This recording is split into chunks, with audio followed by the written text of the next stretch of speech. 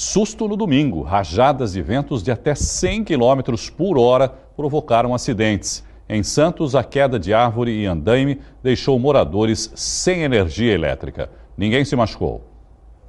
Nesta rua da Ponta da Praia, a árvore que ficava aqui, bem em frente à casa desta aposentada, caiu por volta das 10h30 da manhã e arrancou a fiação da rua.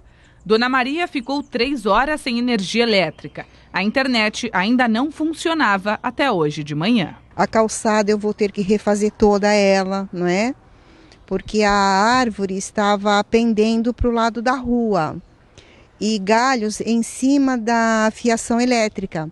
Eu solicitei à prefeitura várias vezes, liguei para o 0800, liguei para a Sabesp, porque a raiz é, quebrou o, os canos né, da Sabesp e ficou a vazão de água por quatro dias muito grande.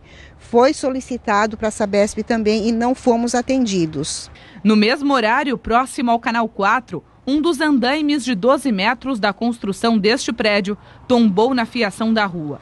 Mais de 400 famílias do Imbaré ficaram sem energia elétrica por duas horas. Os andaimes estavam amarrados, estavam presos, estão tudo né, conforme a, a, a, norma de segurança pede, mas devido à rajada de muito forte, acabou arrebentando a corda de sustentação. E o andaime, uma altura de 12 metros, acabou caindo em cima da rede de tensão. Graças a Deus, né, não, não houve vítimas, não houve é, decorrente maior.